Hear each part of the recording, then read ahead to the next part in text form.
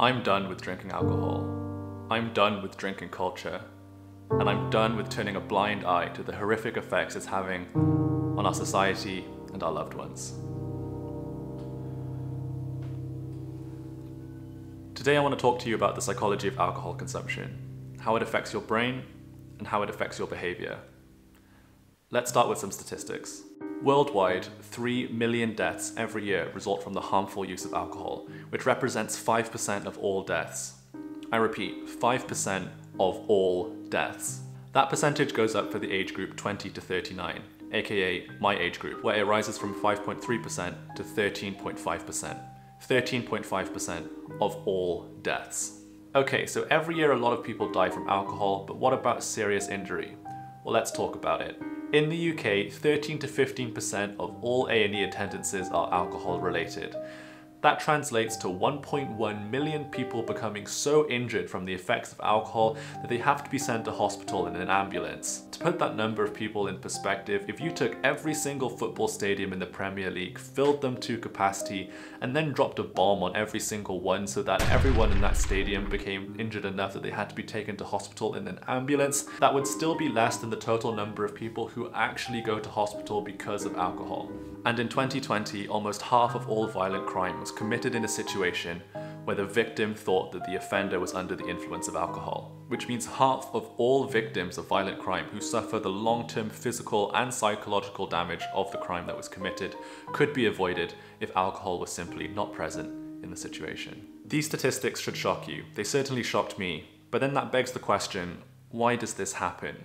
What is it that alcohol is doing to the brain that leads us to be violent, careless, and just downright a danger to ourselves and each other? Well, as alcohol expert David Nutt said, alcohol is a really clever drug. Alcohol is a very promiscuous drug. It, it gets into the brain and it changes all the good neurotransmitters that you want to change. You know, a bit of endorphins, a bit of serotonin, a bit of GABA. You know, it's a it's a really clever drug. And the combined effects of all of these hormonal changes leads to a frightening alteration in your brain's ability to function properly. Let's break it down by brain region. Firstly, the entire cerebral cortex. This huge wrinkly outer layer to our brain is where so much information processing occurs. The information from our eyes, ears, nose and other senses all become dramatically impaired under the effects of alcohol. This is also the part of the brain most involved in planning, deliberate action, and indeed good judgment which means that under the effects of alcohol and the impairment of your cerebral cortex, your ability to understand what's going on around you and your ability to use that information in order to come to reasonable conclusions and judgments is severely impaired.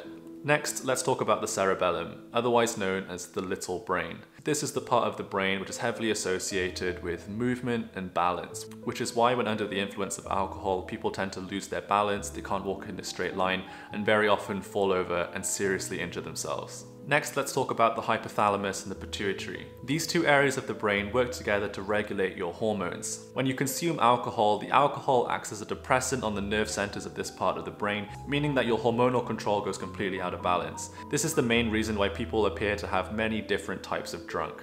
Because it's these nerve centers that control your hormones, this is what leads to the variation of drunk people being extremely happy, extremely sad, extremely sexually aroused, or extremely scared. The truth of the matter is, is that under the influence of alcohol, your ability to regulate your emotions is severely, severely impaired. And finally, let's talk about the medulla. The medulla controls many of the homeostatic functions of your body, including breathing, body temperature, and sleepiness, which is why people tend to pass out when they have too much alcohol. But it's also the reason why people who drink too much alcohol can die from hypothermia, or they can simply stop breathing altogether. The medulla is the part of your brain that keeps your body doing the things it needs to do in order to keep you alive. And under the influence of alcohol, the medulla's ability to take care of you is severely impaired, which is why people die. In combination, the effects of all this altered brain activity leads to a lethal combination of unregulated emotions, unstable movement, and very poor judgment. And all of this seems like good fun and really funny until it's not. Until someone that you know, someone that you love, gets hurt.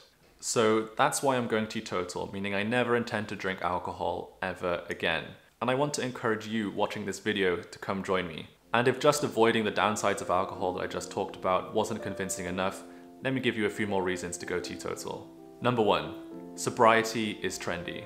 Data from across the world, including here in the UK, is showing that since alcohol's peak in the mid 2000s, alcohol consumption amongst young people has been dropping sharply. Young people these days are simply drinking less than ever, with more and more people choosing to completely abstain, like myself. So let's not all be relics of the past and let's embrace a safe and sober future.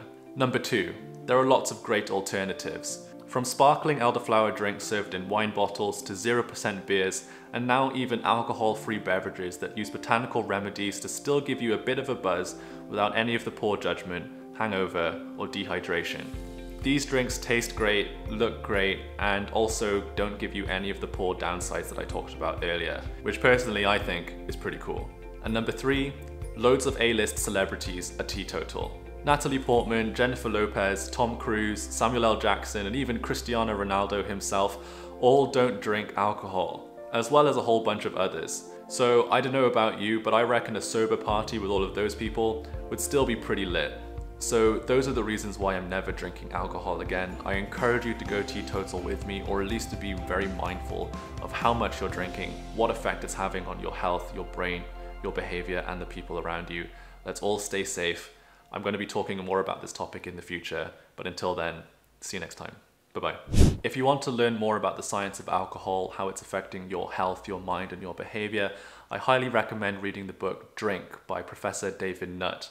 This video is not sponsored by this book, it's just a book that I've been reading personally and has really helped me in understanding my relationship with alcohol. I'll leave a link to the book in the description. I get no money from you buying the book, I just really want people to read it.